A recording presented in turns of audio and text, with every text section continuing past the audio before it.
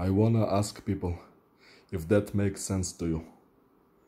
That I would train for 17 hours every day and achieve above Olympic level athletic performance just so some woman from England come to have sex with me.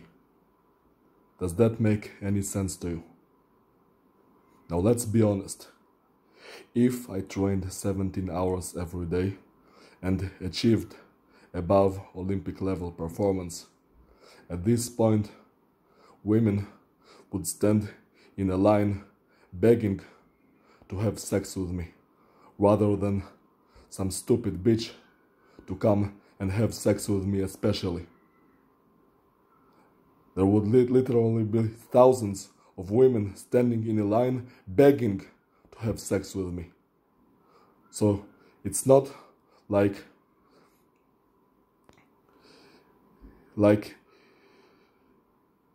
it would be to have sex with a particular woman, but rather I would be a desirable sexual attraction at this point. And secondly, if I'm going to do something like that, obviously it not, it's not going to be for some stupid woman that I don't even know. It's going to be for my well-being, but if it's to receive something from the outside, it's going to be money. Obviously. Like what else? Prosperity, success. That's what people work hard for. Not to have sex with some stupid woman that I don't even know.